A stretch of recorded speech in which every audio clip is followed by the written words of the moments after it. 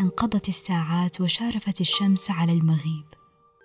وقبل العودة حاولت أن أعقم رئتاي برائحة البحر. إنها تغسل أشياء عديدة بداخلي. تعوضني بشكل كبير عن كل الهواء الذي لم أتنفسه.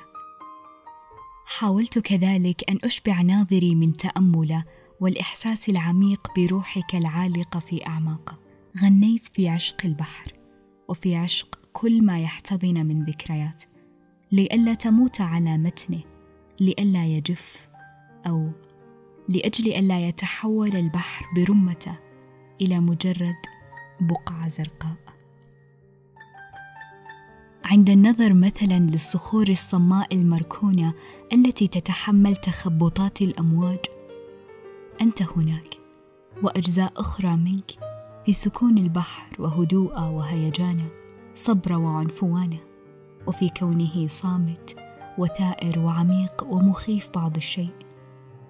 في نصفه المنتمي ونصفه الآخر المغترب في سفره الطويل وهجرته اللامتناهية في انكماشه وانبساطه في توقد عاطفته وامتلائه بالحنية.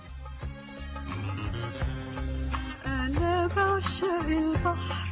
زيك يا حبيبي حنون وساعات زيك مجنون ومهاجر ومسافر وساعات زيك حيران وساعات زيك زعلان وساعات مليان